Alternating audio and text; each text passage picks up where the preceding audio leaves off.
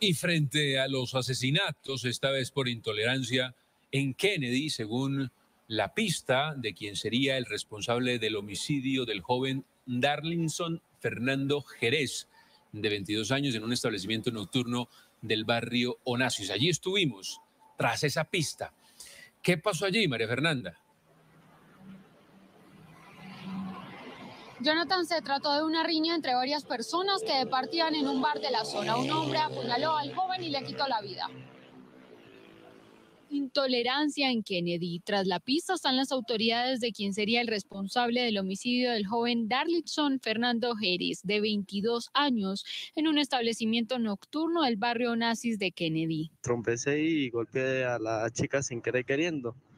Y ahí fue cuando ella empezó a gritar que yo le estaba pegando, que yo le estaba pegando, que tal, que para que para acá.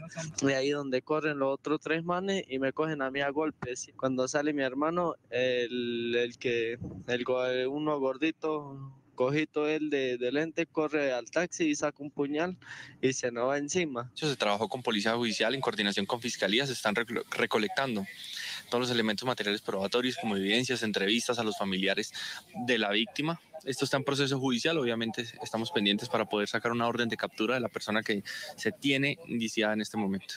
Según la Policía Metropolitana y vecinos de la zona, el joven venezolano fue asesinado en medio de una riña con otro sujeto. Ocurre mediante una riña que inicia en un establecimiento de bebida de consumos embriagantes, se traslada a la vía uno de ellos se acerca a un vehículo, saca un arma cortopunzante y era la otra persona, debido a esto muere en el hospital.